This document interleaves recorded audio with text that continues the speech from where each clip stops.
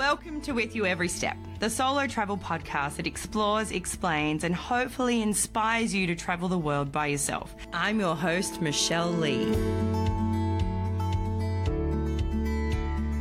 This week's episode is going to be a little bit different than my other episodes. Normally, I have a guest with me, but today it's just going to be me giving you MiShel's pre travel tip. A lot of people ask me all the time about how I do things because I'm traveling so much, and they want to really know how I kind of set up my trip.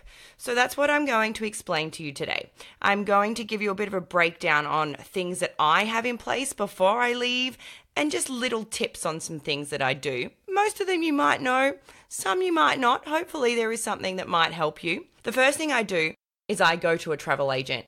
If it's a small trip, I will often book it myself. But if it's one of my big international trips, I often will travel for about three months, kind of around three month mark for most of my big trips. So for those trips, I definitely go through a travel agent. I'm going to multiple countries. I'm trying to fit in as much as possible. So I really want to be taken care of and know that I haven't missed anything. This happened to my last trip actually. One of my flights got cancelled. I wasn't told about it. My travel agent was. They reorganized another flight for me, sent me the information with the flight. I didn't have to worry about anything, which is really good because at that point I was in the Amazon. I didn't have Wi Fi. I came back to find an email that said, Don't worry, we've sorted everything. It's all good. Your flight got cancelled. We've re put you on another flight. All sorted. So, little things like that I think is super important when you're going on a really big trip. I understand within the US, I'm pretty sure you have to pay a fee to go through a travel agent.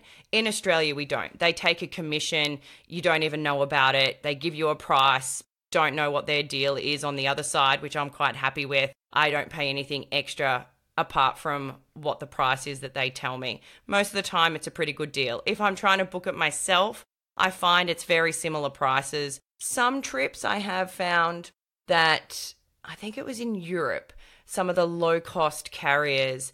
One of the flights that was on my package from my travel agent, and it was a lot more expensive that I could find. So then when I found it, I showed her, she did the same price. So that was sorted. But I always kind of do double check that as well, just to keep them on their toes, making sure they're not trying to do something they shouldn't be doing. So that's what I do with my flights. Then I print it all out. I like to have a hard copy with me while I'm traveling. The same with my hostels, hotels. I like to write on there. I am very OCD with a lot of little things like that. So I have a folder with me that I take. It slides in the back of my backpack. It's flat. You don't even know it's there, but it's there for emergencies. And that's why I have it. I write on the every hostel or hotel if I've paid for it or not, how much I have to pay when I get there in case I've paid a deposit, if there's transfers included or not, and how is the best way to get there, which I've normally already have done that research. So if I find somewhere within the US, there might be a shuttle bus from the airport. Certain countries, it might be a taxi, or it might be you need to organize a transfer depending on the type of country you're going to. Some countries are not safe to get cabs as a solo female traveler. So that's the kind of stuff that I will pre organize and make sure I've researched. I've researched all of that information. I find that super important. Then organizing money. People ask me all the time, do you take cash with you? What do you credit cards do you use? Now, I do a little bit of everything. I have something called a Qantas cash card, so that's with Qantas frequent flyers, they can send out all their members a card. It's like a travel card that you load money onto. The best thing about this card it doesn't have any fees. So I really like that for that reason. You can load whatever money you want onto it. You can load it into different currencies as well, which I kind of don't do that so much anymore. I just load on in Australian because the ATM just transfers it. But if there's a really good rate and you know there's going to be a drop, absolutely do that. Put it into the currency that's on there. They often give you a pretty good rate on there as well. I like that. I like to have loaded money on there. In case something happens, I only put a few hundred or so on there at a time. At least then if it miss it goes missing, it's not the end of the world. I also have other cards that are my normal banking cards that I use back in Australia. They are debit credit cards, so they are able to be used while you're traveling. That's handy. It's good to have a few. I know some people even often go and get a credit card to be able to travel with. I looked at doing that because I'm a sucker for frequent flyer points, but the amount of fees on those cards, it's huge. And when you're a budget traveler, it might not be the best idea. So the Qantas cash card for me in Australia, it's free, it doesn't cost anything. It's easy, everywhere accepts it. I only had one problem somewhere in Edinburgh that one place wouldn't accept it, and I hadn't taken my other card with me because I've never had an issue with it. And so I had a big argument with management there because they were trying to tell me I was ripping them off when I said it there's money on my card. Anyway, that's a whole nother story. I also take a certain amount of sm- a small amount of cash with me because I like to if I'm going to another current another country with a different currency, I like to have just a little bit of currency just in case there's not an ATM at the airport or that you can't get to straight away. It's good to have a little bit of cash. If you need to get a cab, you need to pay for that cab. Not all countries have ATMs where you can get cash out. Not all countries have cabs that take card either. So it is good to have a little bit of cash from those countries. And if I'm going to another country, I'll try and change it at the airport to get a little bit of money in that currency. Issues though. Something I found traveling through third world countries where their money is not worth as much as other countries, it is really hard to change it when you go somewhere else. So, Ugandan money, I was not aware of this at that point, and I was going down to South Africa. I thought, oh, it's still Africa. I wasn't thinking anything of it. I, by the time I got to the airport in South Africa, I thought, yep, let's get this sorted. Went there, and they said, sorry, we don't exchange Ugandan money. I thought this was really odd. It's currency. I don't understand why you wouldn't change it. Nope, sorry, we don't do it here. I thought, oh, South Africa, whatever. Came back to Australia, thought, oh, that'll be okay, I'll go and change it. Went into all our banks here, they all told me the same thing. So I still have Ugandan money here that I can't change, which in their eyes is worthless. It's still worth a little bit of money, in their eyes is worthless. So if anyone's going to Uganda and you want to give me you want to give me some cash for that money, I'll give it to you. Just hit me up. Yeah, so just be aware certain countries change it as you're leaving that country. I'm always aware of that now. Travel insurance. You've heard us talk about that before on With You Every Step. Travel insurance is super, super important. I use Travel Insurance Direct TID. That's my preferred travel insurer while I'm traveling. I've used them for my last, I don't know, 10 trips. I think they're great. I've had to make a claim through them. I've never had an issue with them. They've been fabulous. Doesn't matter who you go through, do your research again. I've been told from people get a credit card. In Australia, credit card gives you travel insurance. Read the fine print. It does not cover you for everything. For my trips, I go for nearly three months. Doesn't cover you. I think the one I looked at only covered you for the first, I'd say, month. I think. Don't hold me to that. It's not a very long amount of time and also doesn't cover you for certain things. I want to be covered for everything. If a family member gets sick, I want to be able to get home. If before I fly, I get sick and I can't go, I want to be covered. There are so many things that you need to look for when you're looking at travel insurance. They're important things. Some things you can't. My grandmother, when she was alive, was 100. I'm not covered if she gets sick. It's over a certain age that if someone gets sick, they don't cover you. I think it's ridiculous. It was still my grandmother, but that's the rules. So there are certain things. Make sure you read the fine print. It's super important, especially with the credit card travel insurances. Make sure you read the fine print. I don't have any pets, but if you have a pet, obviously you need to make sure that they're looked after. Please don't leave your pets alone while you're traveling. That sounds awful. I hope no one would ever do that, but you just never know. I have some babies though, and my babies are my plants. And my last trip, my brother was in charge of coming over and watering them.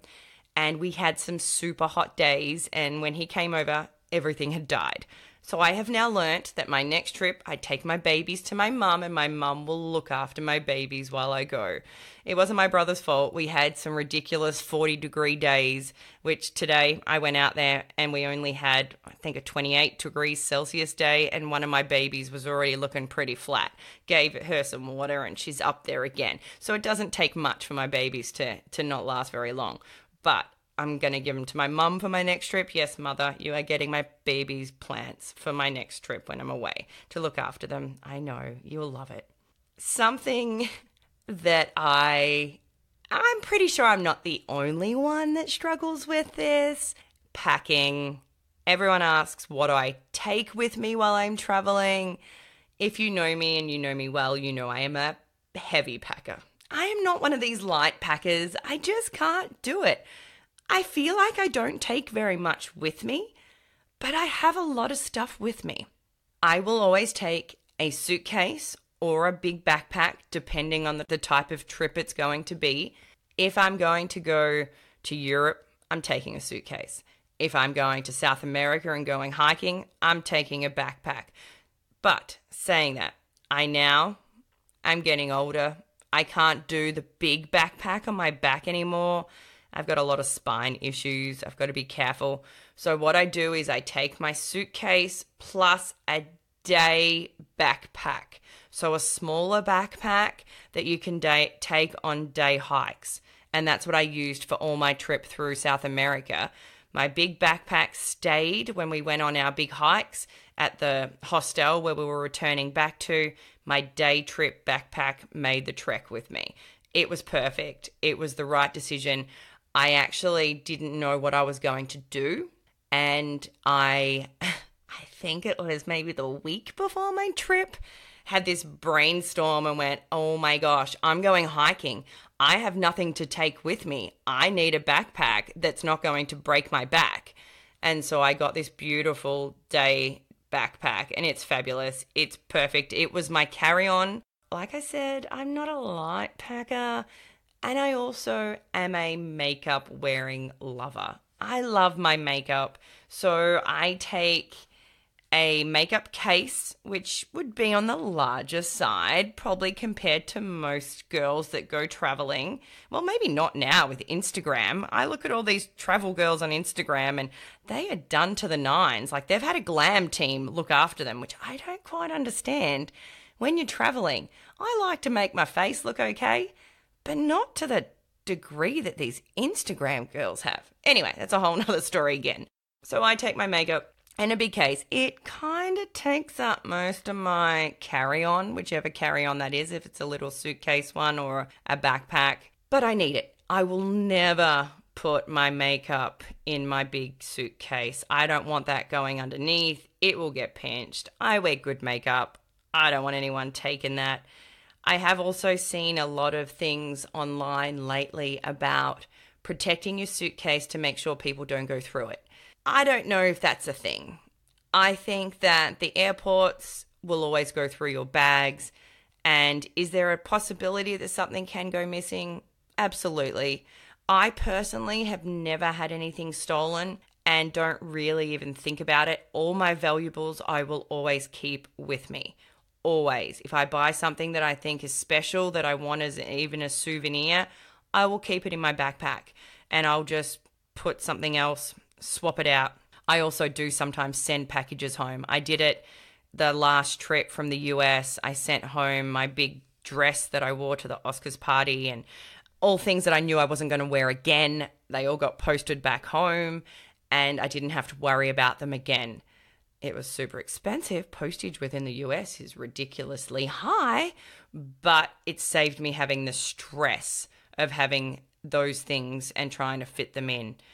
I still didn't feel like I packed very much. I only had maybe two pairs of pants. No, one pair of jeans, one pair of kind of soft, yogery, comfortable pants that I wear on the plane. I had a couple of t shirts my hiking, two pairs of hiking pants because I was doing a lot of hiking, and then my rain jacket. And I think that's the only jacket I took with me. Maybe I took a smaller little jacket as well, but I didn't take very much clothes with me. but hiking boots, I wear them on the plane. And in if you're in a hot area and you got to wear those boots when we're in the Galapagos, whoo, that was killing me. But you have to wear them on the plane because they're too heavy to pack. I pack runners, running gear. I like to work out a little bit while I'm traveling. All these little things, especially when you're going for a long time, you need them. And people that say to me, Oh, I just take a small little backpack and take like two items with me. Really? And then you look at Instagram and you think, this doesn't make sense. Something's not right somewhere. I'm a heavy packer. I can't, I don't understand these people that aren't. I, yeah. I often will buy things along the way and maybe sometimes throw out a couple of things if they're wrecked, but not very often. I'm a bit of a hoarder when it comes to clothes. I have a few closets that are very full. Going back into the packing thing, a lot of people talk about what style of packing to use the roll method, the bag method where you put it in a vacuum sealed bag. I've tried them all. For me, the roll method is the one that works the best, rolling everything up tiny and putting it all in that way. But it might not work for you, and it might not work for your type of luggage that you have. Maybe you've got a backpack and you want everything flat down the bottom, well, you make that flat and then you roll. Or maybe you've got a suitcase and rolling in your suitcase doesn't work. Do what is best for you. There is so many YouTube tutorials on you should do it this way or you should do it that way. Just do what works for you. If it fits in your bag and you can fit more in, go for it. That's the best way to do it. Now, this is a little tip that my parents tell me all the time to do before I travel. I hadn't actually thought about how important of a tip this actually was, which is turning off all your taps at home. If you either live alone or you live with a family and you're all going away and nobody's going to be home, turn off all your taps that are linked to anything. So in my case, it was my washing machine.